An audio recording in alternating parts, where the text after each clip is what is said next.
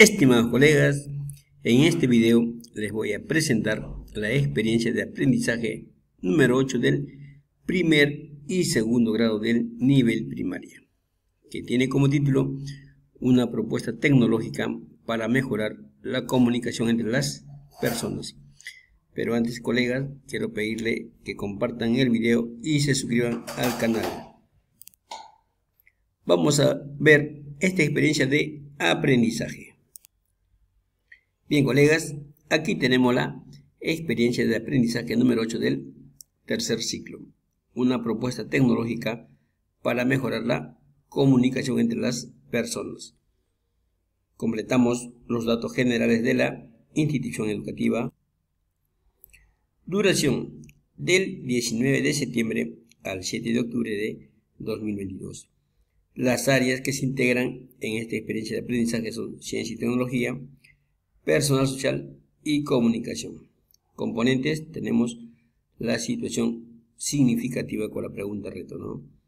¿Qué propuesta puedo hacer para mejorar el funcionamiento del celular, la radio o la TV para que en mi familia o en mi comunidad las personas puedan comunicar mejor, se puedan comunicar mejor? Entonces, estimados colegas, esta experiencia de aprendizaje número 8 va a responder a esta pregunta, que es el reto. Bien.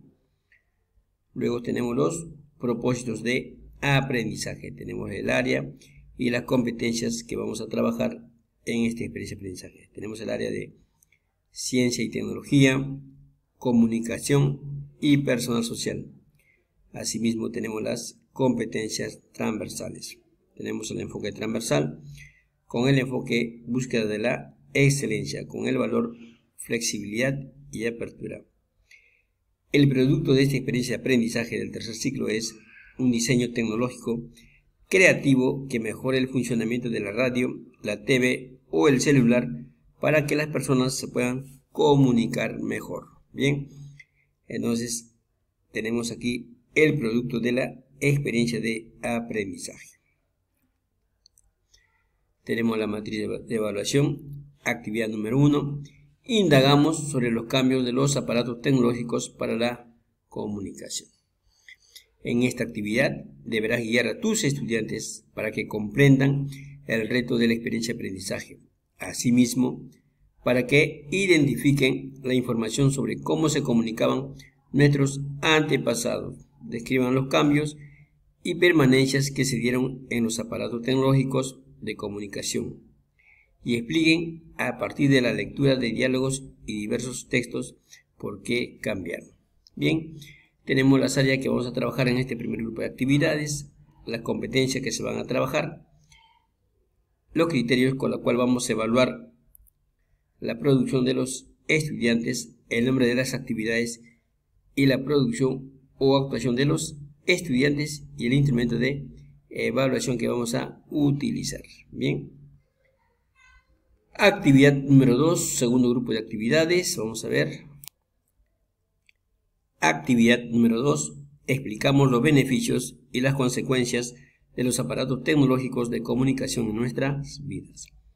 En esta actividad guiarás a tus estudiantes para que comprendan la importancia de los aparatos tecnológicos en nuestras vidas y, además, para que expliquen los beneficios y las consecuencias en la salud tenemos las áreas que vamos a trabajar, la competencia que se va a trabajar en cada área, los criterios de evaluación con la cual vamos a evaluar la producción o actuación de los estudiantes, el nombre de las actividades y la producción o actuación de los estudiantes y el instrumento de evaluación que vamos a utilizar. Bien, aquí están el segundo grupo de actividades. Tercer grupo de actividades, vamos a ver ¿Qué nos dice? Actividad número 3. Diseñamos una solución tecnológica para mejorar el funcionamiento de un aparato tecnológico. En esta actividad ayudarás a tus estudiantes a diseñar y construir una solución tecnológica usando dibujos o esquemas. Ello a partir de que hayan comprendido cómo ocurre la comunicación mediante el teléfono. Bien, aquí están una vez más las, eh, las áreas que se va a trabajar, las competencias los criterios de evaluación, el nombre de las actividades y la producción o actuación de los estudiantes y el instrumento de evaluación que vamos a utilizar. Bien. Y luego tenemos la secuencia de las actividades. Como ya sabemos, para obtener el producto que deseamos en la experiencia de aprendizaje tenemos que seguir la secuencia lógica de las actividades. Tenemos aquí grupo de actividades número 1, grupo de actividades número 2 y el grupo de actividades número 3. Bien. Y luego tenemos el planificador de actividades. Empezamos el lunes 19 de septiembre y terminamos en este caso el viernes 7 de octubre. Como sabemos, ha sido declarado feriado largo. Y aquí prácticamente estamos terminando el tercer bimestre, porque de ahí a partir del lunes 10 empieza la cuarta semana, primera, segunda, tercera, cuarta. Empieza el cuarto bloque de la semana de gestión. Vamos a ver aquí la calendarización un momento. Bien, vamos a ver entonces del 10 de octubre al 14 de octubre es el cuarto bloque de semana de gestión, colegas. Bien. Y, y asimismo estaría terminando el tercer bimestre y el 17 de octubre empezaríamos con el cuarto bimestre hasta el 16 de diciembre. Bien colegas, y por último tenemos los recursos y materiales que hemos utilizado para elaborar esta experiencia de aprendizaje.